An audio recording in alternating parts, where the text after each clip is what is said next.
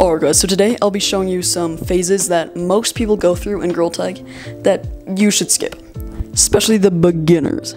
So basically things that most, if not all, beginners do. Because every time I've seen a beginner, they all do these things. And, I mean, these, they make you look stupid, minuscule, moronic, absolutely idiot. But yeah, uh, like and subscribe. Okay.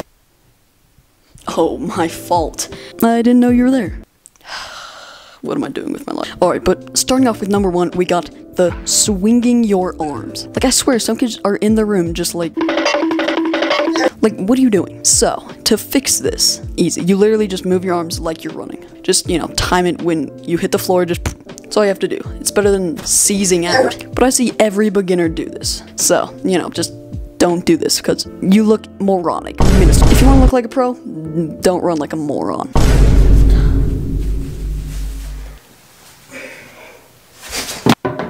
Oh, uh, sorry about that. Or in number two, we got the.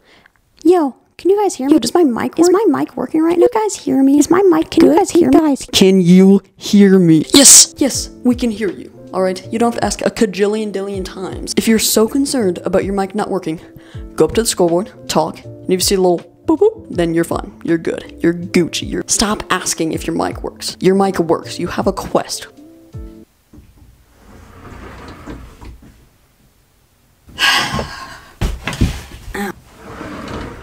Anyways, uh, number three, the. How do you do that? How did you just do that? Are you using my? I mean, I get it if the guy's doing something extraordinary. I get it, I'm that guy. But if they're just like branching, then I mean, everyone does that. You've seen people play. You just do it. You just have to practice and do it.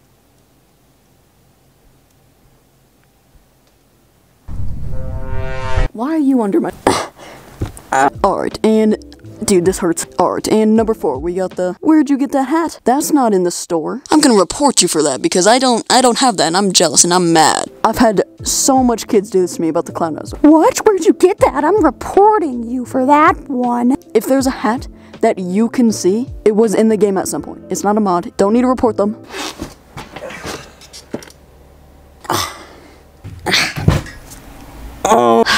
It's the outro. If this video helped you from being a despicable noob, then make sure to like and subscribe. Or else, I mean, you're done. You're done. At this point, do I have to say anything else? You're done. I don't think you understand. Once you click off of this video and you're not subscribed, your dog is in great, great danger, and you should know that. Anyways, uh, thank you for watching. If you found this entertaining, make sure to like, and I'll see you guys next time.